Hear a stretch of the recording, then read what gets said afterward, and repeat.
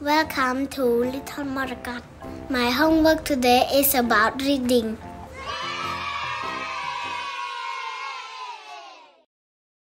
Meerkats are small. They are very cute. They have pointed faces. They have brown fur.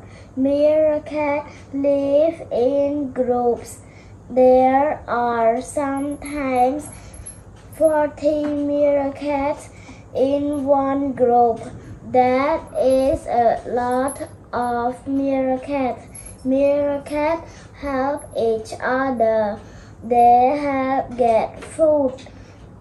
They help stay safe.